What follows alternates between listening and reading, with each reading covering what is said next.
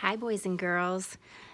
Let's get ready for our next book. It's How to Make a Shark Smile. We have two friends joining us tonight. Here we go. Oh boy. It was Ripple's first day in a new aquarium. She was excited to make some new friends. Ripple looked around for someone to play with, but the water was still and quiet. She saw electric eels with no zing. The neon fish had no glow, and even the seahorses weren't horsing around. All the animals looked scared and unhappy. Ripple saw a blowfish nearby and decided to ask why everyone was so sad. Hello there, she said with a smile. The blowfish began yelling, Shark alert! Shark alert! and puffed up like a balloon. Ripple realized the blowfish must think that she was a shark. Laughing, Ripple swam towards the bluefish and explained, I'm not a shark. I'm a dolphin. My name is Ripple. What's your name? Whew, the blowfish sighed. I'm Bob. I thought you were a snark. Who, Ripple asked?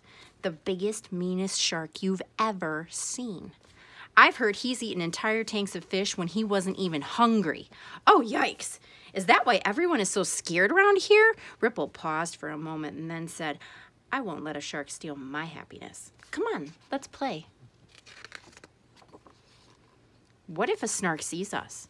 You're not scared because you're big, fast, and smart, but I'm just bite-sized fish, trying to make it in this world. Oh, my friend, it's not my size or speed that makes me powerful or brave. It's my mindset. I believe that my behavior matters, and today I choose to be happy. Bob was confused. How can you choose to be happy? Can I show you how it works in a game, Ripple asked.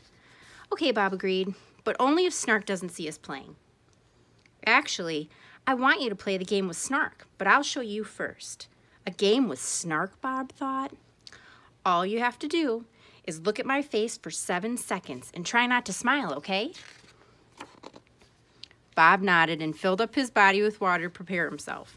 At first, it was easy for him not to smile, but then Ripple flashed him a big smile and started, started to blow bubbles. Bob burst out laughing. Ah, you see, Ripple said, happiness is hard to resist. When you see someone else smile, it makes you want to smile too. I call it the ripple effect. When you believe that you can make a difference, you can change the world around you. That's amazing, Bob said. I've got to try this game out with my other friends. He swam over to the seahorses to try out his new trick.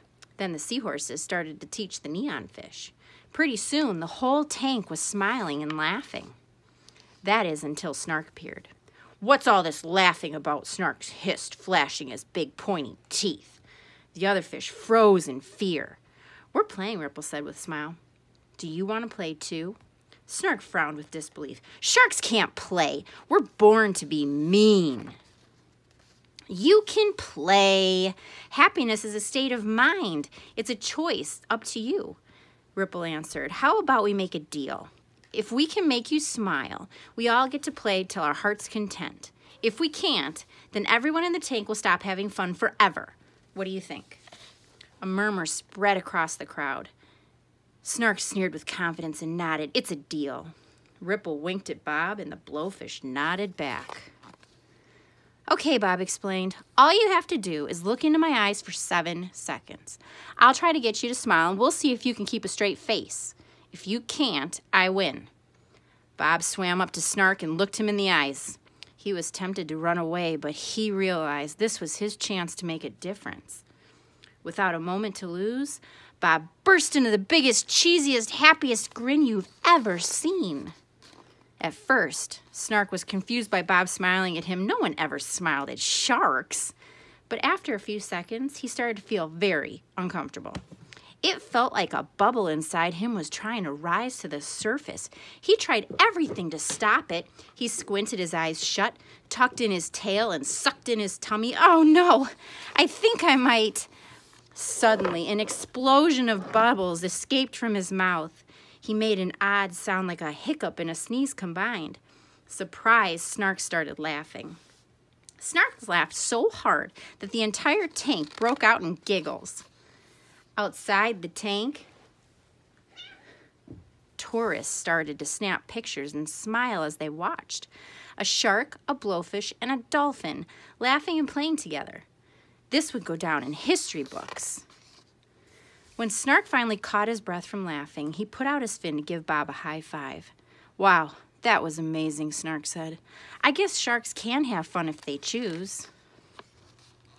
Ripple's effect on the tank could be felt from that day on.